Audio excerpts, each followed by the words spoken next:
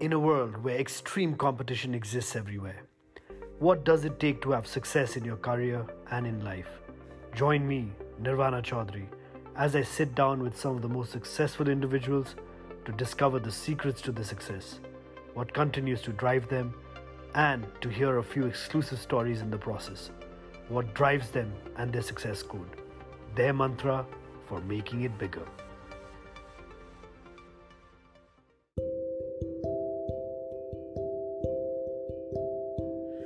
Hello, everyone. I'm Nirvana Chaudhary back again with my podcast, Making It Bigger. Today, I have with me an adventure activist, but more importantly, a very, very dear friend of mine. I, I don't even know how to start his introduction, but let me just quickly try to summarize it 52 expeditions, 172 countries, 3,000 nights in tents he is an event, uh, environmental explorer, adventurer, Grand, Grand Slam, Guinness World Record holder, Mount Everest summiter. He summited the seven summits, North Pole, South Pole, World Sailor, Pole to Pole, Explorers Club, Climate Neutral Expeditions, and he's been on the cover of Time magazine. Uh, ladies and gentlemen, I'm just so fascinated. I'm so happy to be welcoming my brother, Johan Ernst Nilson. Johan, thank you so much for coming to this podcast. It's my biggest honor. Uh, it's uh, it's an honor to be. You're such an ins, ins, inspiration to me and to many. So I mean, it's uh, it's uh, it's it's my biggest honor. So Johan, the first thing I always ask, you know, uh, leaders who come in my podcast, you've done all these activities. I, I mean, I'm honored that I mean, even one iota an inspiration to you. You are an inspiration not only to me but to a lot of people, right? What is your success mantra? What is it that keeps you going? I think that I'm a little bit obsessed with the word impossible. I believe that impossible is a word that we have invented. It doesn't exist in the nature, in the animal kingdom, in the nature. The, word impossible doesn't exist in evolution, in everything, in transformation.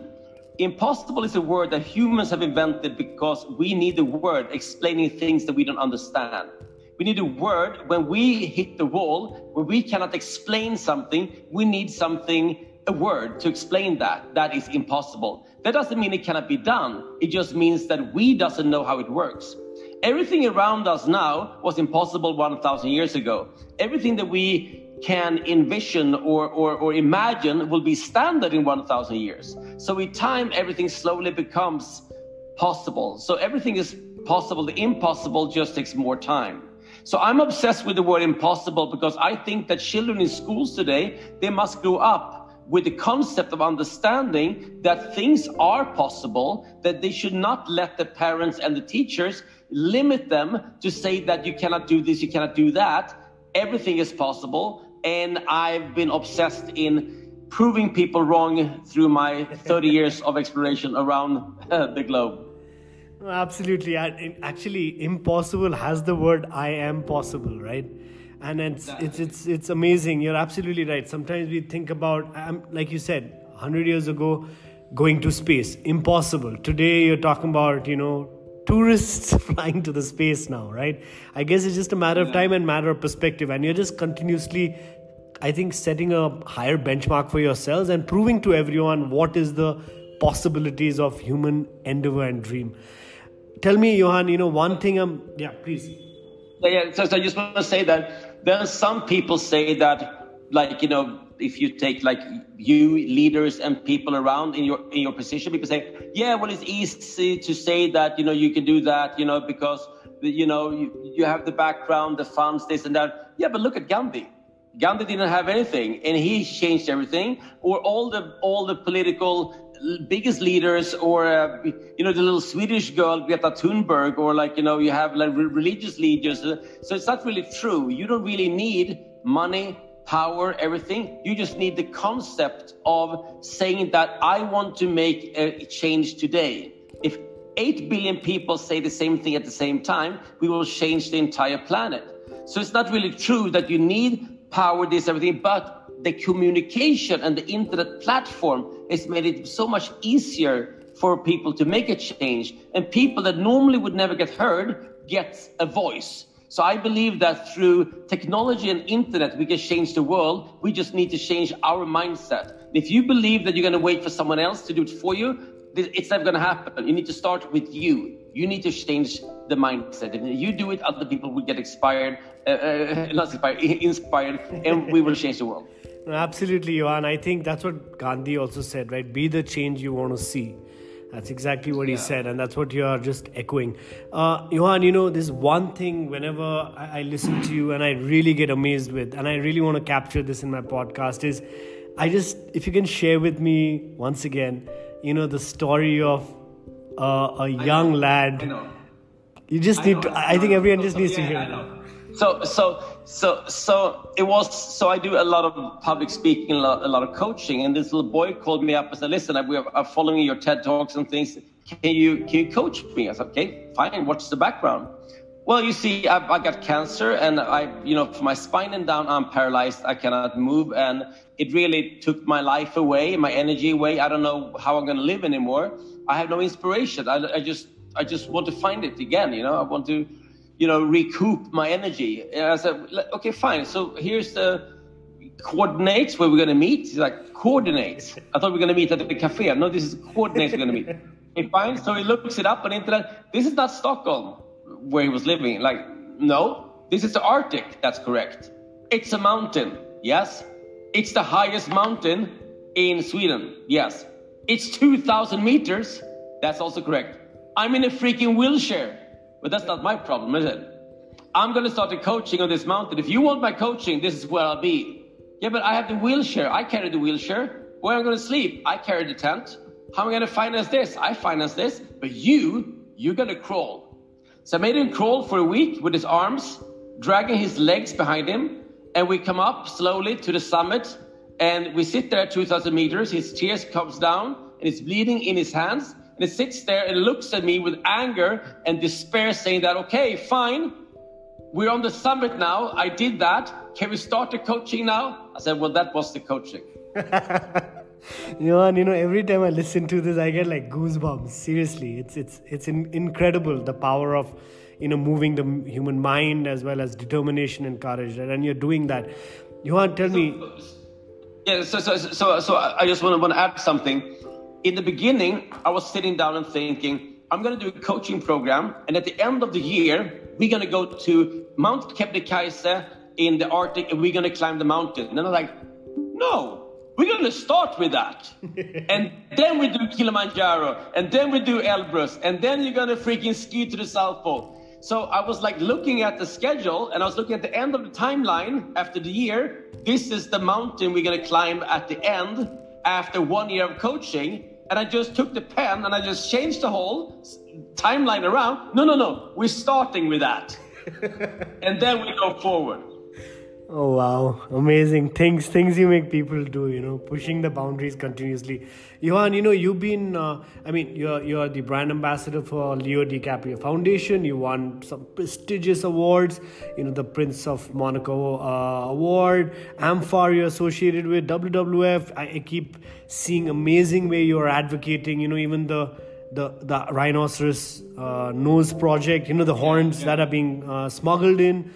I mean, Snow Leopard Foundation. Snow Leopard.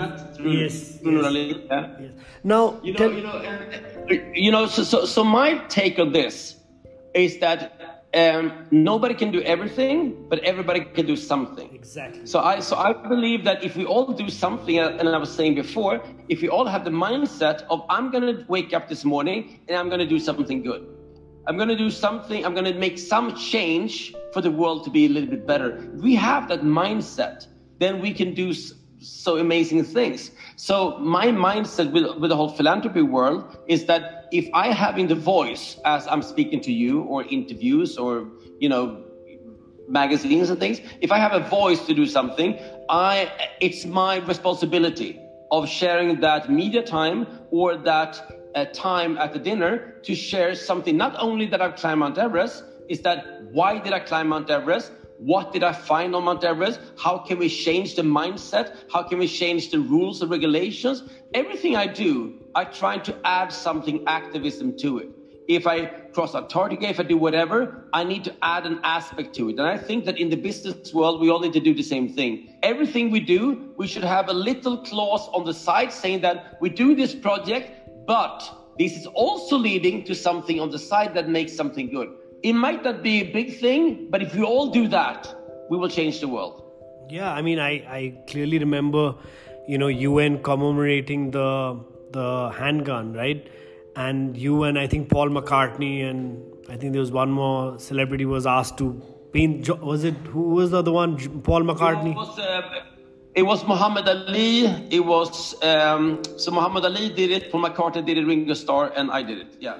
So again, you're already sitting in the you know platform of the stars of the world, right? Like my, my earlier question, which you answered really well, was uh, you're sitting in a position of influence, and why aren't we being able to make these changes and these differences? And you answered already to that question saying you don't have to do everything, you can just focus on one thing and do it. You know, uh, Johan, tell me. You have been coming to Nepal for 25 years. You've been you yeah. you've really been a true brand ambassador for Nepal. You've been promoting Nepal. I mean, the kind of uh, people, your friends who you bring to Nepal are, are people who are the, again, become spokespeople or ambassadors of this country, right? I mean, are you seeing changes happening in Nepal's mindset? Do you feel we still have a long way to go? What should we as a country capitalize on? You know, we talk about hydropower, tourism, but. Yes, so so I would say it's not really it's not really fair and it's not really a sport and it's not really hard to promote Nepal because Nepal promotes itself. I just need to open the door. I don't need to sell it. I don't need to promote it. I don't need to do anything. The only thing I need to do is saying, you come to Kathmandu and Kathmandu will take care of you. You come to Himalaya and the nature will show you the magic. So I feel a little bit embarrassed because it will be much, much more of, of a challenge to take other countries. But now it just happened to be Nepal. But as I said, I get people there. They, I open the door and they say, we wouldn't have come here if you wouldn't have invited me. But the people, the Sherpas, the Nepali, the mountains, the culture, the food, the love, the, the everything is just the most amazing country. So I did two years ago. I brought the whole film team, uh, and I and I did eight one-hour shows about Nepal, about eight celebrities coming to Nepal, and I'm doing the same thing in April again. So in April again, I'm bringing eight celebrities with a whole TV team of 20 people, and we're doing eight new documentaries about Nepal. So I'm trying to, everything I do, I'm trying to get Nepal to be a part of people's everyday understanding and life. Because Nepal, I think, is a role model about how people should be in the world, how people treat nature, how people treat each other, the culture, everything. So I want people to go to this little country between the two big blocks and understand that this is the one we should look at not the south, not the north, the one in the middle. That's the one who sets like you know like the basic of everything. That's amazing. You know, uh, there's so many questions uh, I want to ask you, Johan, but I want to really, from on behalf of Nepal, I really want to thank you for what you're doing, and I'm sure in the near future, you know, Nepal as a country should be formally recognizing your efforts for all these years and being a true brand ambassador, right? Uh, I've got many questions, but I've got one which is just completely going on in my head. You've done North Pole, South Pole, and I gave in the introduction, right? What next? So, so I also believe that after doing, as you said, 3,000 nights in a tent, eight and a half, eight and a half years of my life in tents, and uh, 178 countries, I think it is now, and all over the world. I think that one of the biggest exploration we can do today is an inner journey. It, it's not only, uh, so I go back to Nepal the whole time. People say, yeah, why do you go back? Because I discover new things within myself the whole time.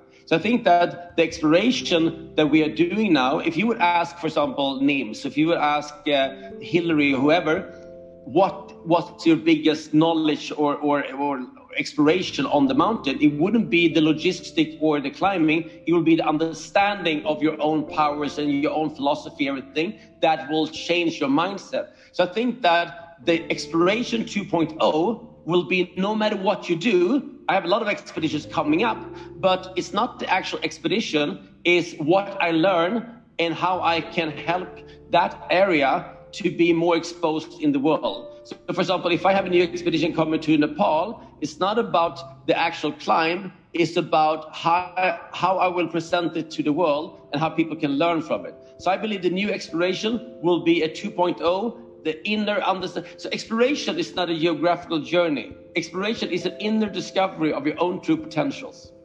Fantastic, Johan. Inner engineering, right? You know, frankly speaking, I thought, you know, I see you underwater with a blue whale, or I think you, I, I thought you're gonna say, you know what? I think now I've got to go and explore the space, right? And the, and I think your your entire uh, answer is so profound because I've seen you being drawn into spirituality over a period of time, and I think that's one of the first step towards understanding yourself and the inner, inner engineering, right? Johan, I I you know I want to keep this short because I know a lot of people like I will learn so much and we'll keep this podcast close to my heart. Uh, brother, thank you so much for taking out time. This has been absolutely amazing. I look forward to seeing you in Nepal very, very soon. Thank you so much, bro. Thank you so much.